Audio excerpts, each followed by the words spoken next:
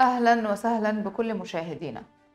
استمرارا لجهود القوات المسلحة في دعم القدرات القتالية والفنية للقوات البحرية المصرية وتطويرها وفقا لأحدث النظم القتالية العالمية قام الفريق أشرف عطوة قائد القوات البحرية برفع العلم المصري على الفرقاطة العزيز والتي تعد واحدة من أصل أربعة فرقاطات من طراز MEKO A200 تم التعاقد عليها بين مصر وألمانيا خلال الاحتفال الذي أقيم بمدينة بيرمنهافن الألمانية. وألقى الفريق أشرف عطوة قائد القوات البحرية كلمة كلمة نقل خلالها تحية الرئيس عبد الفتاح السيسي رئيس الجمهورية والقائد الأعلى للقوات المسلحة والفريق أول محمد زكي القائد العام للقوات المسلحة ووزير الدفاع والإنتاج الحربي للقوات البحرية الألمانية وشركة TKMS مؤكدا اعتزاز القيادة المصرية بعمق وقوة العلاقات المصرية الألمانية وتقارب وجهات النظر في العديد من القضايا والموضوعات.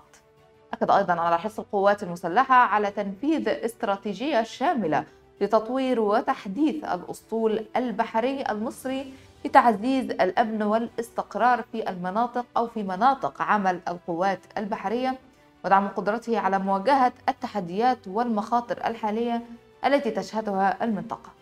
أوضح أيضا أن الوحدة الجديدة تعد الأكثر تطورا في السلاح البحري المصري لتعزيز قدرته على تحقيق الأمن البحري وحماية الحدود والمصالح الاقتصادية في البحرين الأحمر والمتوسط للوصول إلى قوة ردع توفر حرية الملاحة البحرية الآمنة في ظل التحديات التي تشهدها المنطقة. حضر المراسم عدد من قادة القوات البحرية المصرية والألمانية والملحق العسكري المصري بألمانيا وعدد من ممثلي الشركة الألمانية TKMS المصنعة للفرقاطة العزيز. أما عن مميزات الفرقاطة الجديدة ومن أهم ما يميزها قدرتها على الإبحار لمسافة 6800 ميل بحري وتصل سرعتها القصوى إلى 820 عقدة ويبلغ طولها الكلي حوالي 121 متر وتصل أزاحتها إلى 3931 طن. أيضا تتمتع بالعديد من الخصائص التقنية ومنظومات التسليح الحديثة التي تمكنها من تنفيذ جميع المهام القتالية بالبحر وقت السلم والحرب.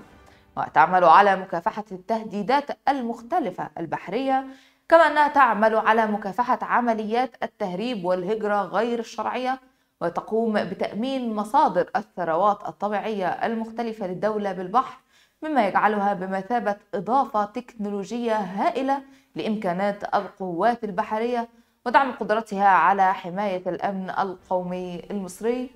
أيضا تمتاز بالقدرة على تأمين خطوط الملاحة البحرية الحليفة مع تأمين السفن التجارية المارة بها وتنفيذ عمليات الدعم الإنساني بالمناطق المنكوبة. تم إعداد وتأهيل الأطقم التخصصية والفنية العاملة على الوحدة الجديدة في توقيت قياسي وفقا لبرنامج متزامن تم تنفيذه على مرحلتين بين مصر وألمانيا.